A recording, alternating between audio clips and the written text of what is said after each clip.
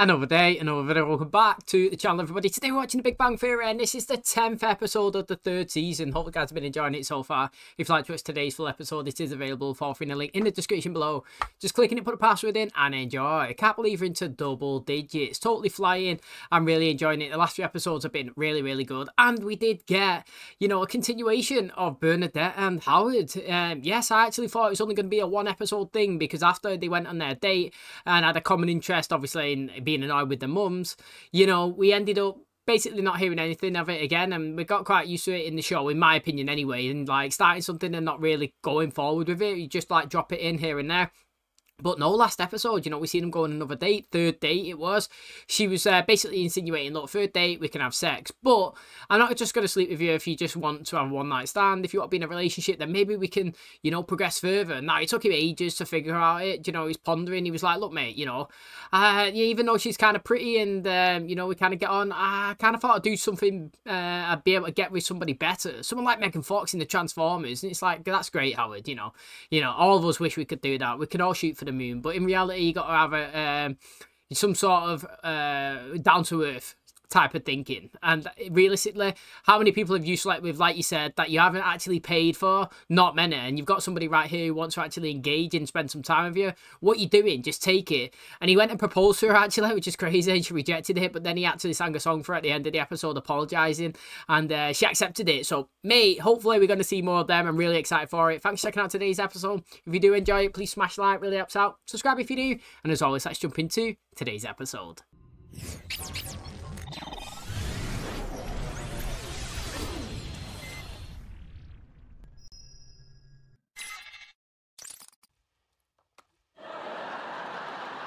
Think it upsets Sheldon when you play with the food. No, it upsets Sheldon when she willy-nilly takes it from the containers without regard for its equitable distribution. You want me to put it back? Leonard? It upsets Sheldon when you play with the Sheldon. Sheldon, I want you to meet my girlfriend, Bernadette. Hello. Leonard, Penny, you know my girlfriend, Bernadette. He loves saying it. Bernadette, say faux shizzle to my nerdizzles.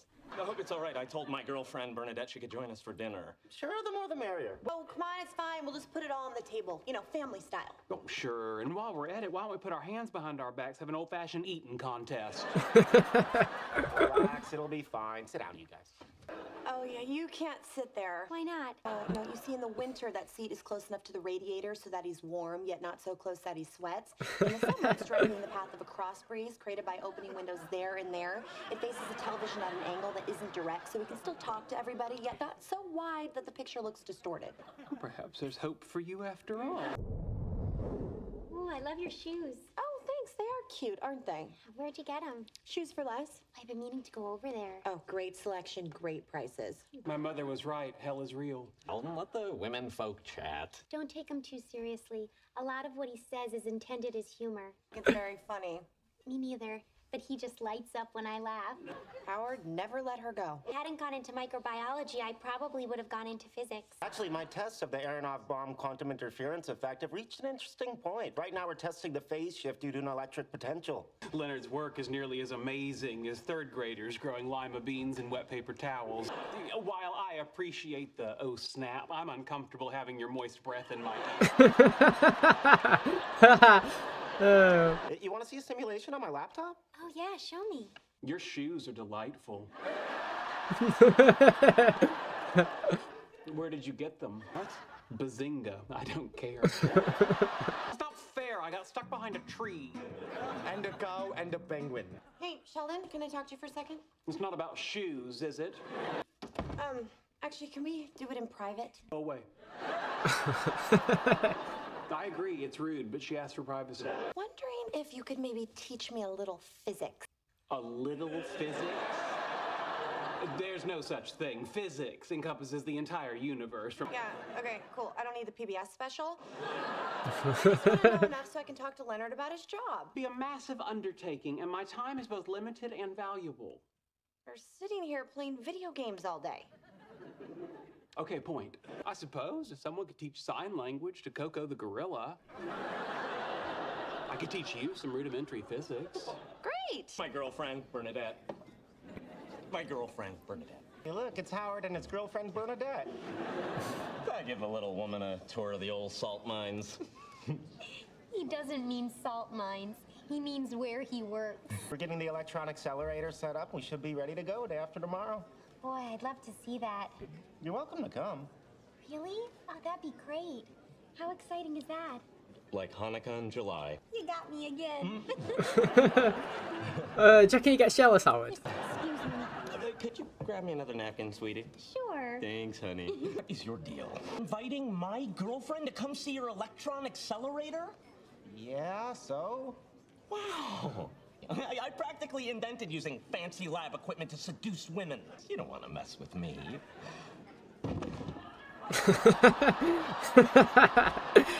I could tell he's getting jealous. I'm crazy. I believe you. I've extended a friendly, casual greeting. Ready to get started? One moment. Subject appears well rested and enthusiastic. Apparently, ignorance is bliss. Where's your notebook? I don't have one. How are you going to take notes without a notebook? I have to take notes? Well, how else are you going to study for the tests? You're welcome. Now, introduction to physics. You- What is physics? Physica means the science of natural things, and it is there in ancient Greece that our story begins. It's a warm summer evening, circa 600 BC. Does this have anything to do with Leonard's work? This is the beginning of a 2,600 year journey we're going to take together. Yes, Penny. I have to go to the bathroom. Can't you hold it? Not for 2,600 years. Project Gorilla, Entry 2. I am exhausted. I think Sheldon would be a good teacher though. Somebody so smart like that as well. Like, you know, when you're in class and usually there's many people that are getting taught, you know, the teacher will just like read out stuff, but they won't like hint like that's a key word, you know, write that down, study on that one a bit. But like obviously one to one with Sheldon, he'll tell you something, he'd be like, make sure you do that, make sure you write that, check that up. Do you know what I mean? First of all, it's already kind of um trained her before, hadn't they? Do you remember when he was throwing the chocolates and she was eating them and he got her to do stuff subconsciously, you know? That's interesting. But also, I'm kind of thinking that this Bernadette now could actually potentially be in the show a bit further. Um, because if she is smart, she'll fit in with the clique, which is good. But also, she's a female, which is good because it also brings another dynamic towards Pe- Penny. You know what I mean? There'll be two in the group, uh, someone that she can actually spend time with.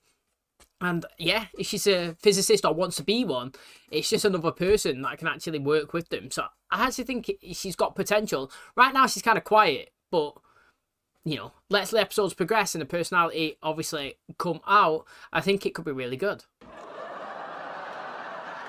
Hook's in the front. Ah, no way. Oh, that explains a lot. Howard, I'm home! Your fitness was canceled. It turns out you can forget how to ride a bike. Hey, hey, Ma, can I have lamb stew for dinner? Lamb stew? I'd have to go to the supermarket. Please, I got a real hankering. Oh, I can't say no to my little tushy thing. Do you want the regular peas or the Le Sueur?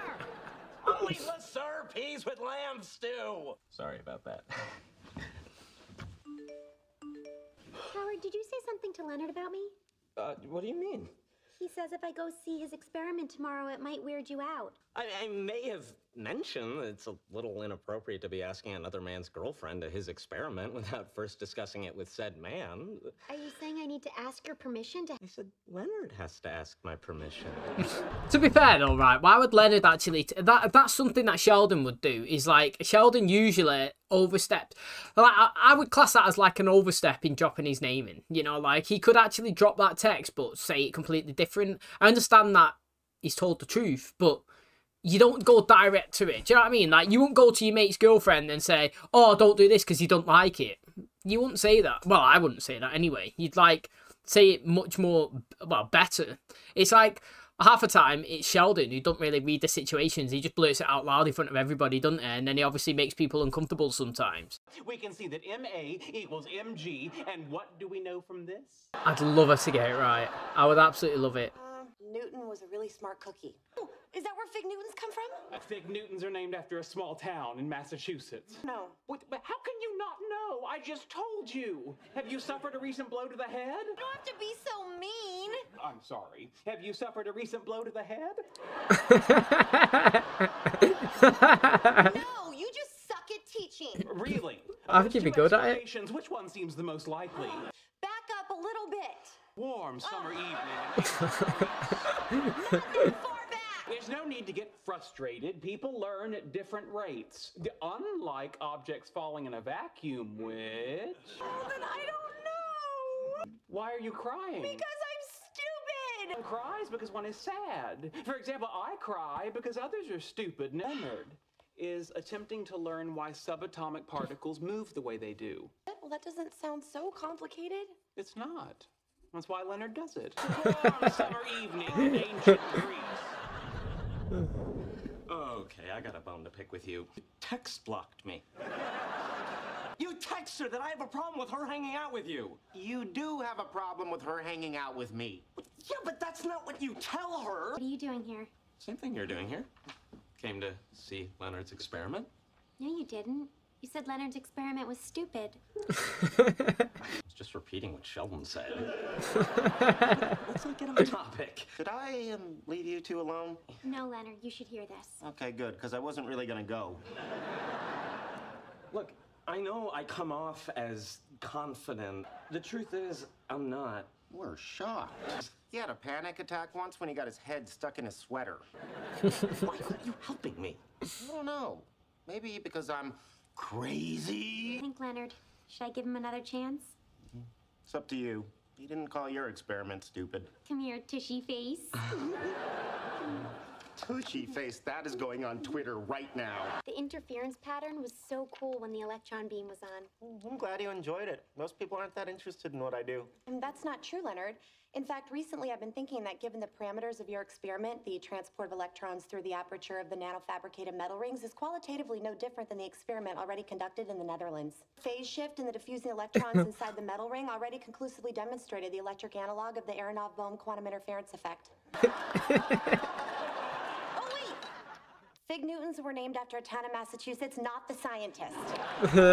that was decent though. Again, she had a line there that Sheldon usually does. Now, interestingly, Leonard, when he's saying that, yeah, okay, he texts Bernadette basically saying that Howard, you know, didn't want him to come there because he felt uncomfortable. And like, that is correct. But it goes back to what I was saying before, you know, when you're a friend, even though he is kind of being a bit of a jealous ass, really, to be honest, Howard, like, it's just common. It's just a bit of common sense. It's like bro code. I don't even know what you'd call it, but like it's obvious. Like you don't say things or address things as they are. You you skirt around it. You make an excuse. You make it sound less. You know what I mean? Like less obvious to the situation. And that's what Howard did. He turned up. He's like, mate, I can't believe you literally physically text her that I was being a jealous asshole. You know, he's like, although I am, yeah, you got to say something else, which I I actually agree with. Um, I actually do, but I would love. Um, I, I would literally love to see Penny by the end of the show get so smart from her association with everybody that she can start having these full-on conversations and understand it and she can actually surprise people as well where like leonard after like one one something that i would love right is if leonard was doing an equation on his board yeah and he was stood there and he was thinking he was trying to figure it out if she come over and solved it do you remember how leslie done it in sheldon's one and one of the episodes and uh oh, it'd be so good like i love the fact that she's already picking up little traits here and there about obviously this um you know the tv programs that they watch the anime the comics you know she's starting to gather an understanding she's trying to as well um, take part and learn about different hobbies that they've got and the work life, which is great. You know what I mean? Association with them obviously expands the palette, so to speak, in terms of knowledge. But my thing that I would love is by the end of the show, she could be not on par with them, but be smart enough to have picked up enough to be able to have a full on intellectual conversation without him thinking that she's got no understanding of what they're talking about. It'd be great to see, honestly, it really would. Okay, that is going to wrap up today's episode. Thanks so much for checking out the channel today. Hopefully, guys enjoyed it. And I've got to say, you know, uh, I don't know what your opinions are, but the last few episodes have been really, really good. I personally think, anyway. You know, I feel like the season started off kind of slow. I thought season two was the best season. Season one was obviously getting used to the characters for me, anyway. I was trying to add because season one, it's like you watch it, it's what gets you hooked. It always has like a place in your heart because obviously if it wasn't good, you wouldn't sit and watch the rest of it, would you? Let's be honest. Um, but then again, it never really always ranks in people's top three when you do it, and you know you you go through them only because it by the end it seems so far away but also at the start it's like slow as well in it to get into it and that's what i thought. When i first watched it i was enjoying it but wasn't laughing in certain aspects and then obviously as it picked up i started to in season two i thought it really took its own stride and I really enjoyed the characters and the uh, the relationships and the bonding between everybody and then going into this season I actually like the fact that we've started to move forward between Penny and uh, uh, Leonard and it's not really hardcore force as well which I say all the time it's really really good. Um but then again, I also feel like it was kind of slow and like some episodes were decent, some were kind of mid. But then uh, the back end of this, well, I won't say back end of the season, but the back end of these few episodes that we just watched, maybe 7, 8, 9, 10, or 8, 9, 10, around there, has been very, very enjoyable. I've really enjoyed it, and I'm happy that Bernadette's been introduced, and I'm interested to see, obviously, how uh, Howard starts to change if his personality does, because you could see it in today's episode as well, that although he's got a girlfriend, you know, he's going around, he's gloating, he's telling everybody, this is my girlfriend, this is my girlfriend, this is my girlfriend, and then when people engage in her and invite her to do things, then he's starting to get defensive. How dare you actually invite her out without asking permission? from me. Do you know what I mean? Personality is changing straight away. So like, I don't know if he's gonna go back to being himself or if he's gonna be totally different. Because obviously the first two seasons of Howard, we've always liked the lady chaser. Do you know what I mean? The confident guy, the one who's trying to impress and always getting rejected. Um, he's always been the kind of Howard that we kind of fell in love with, the one that's always interested us.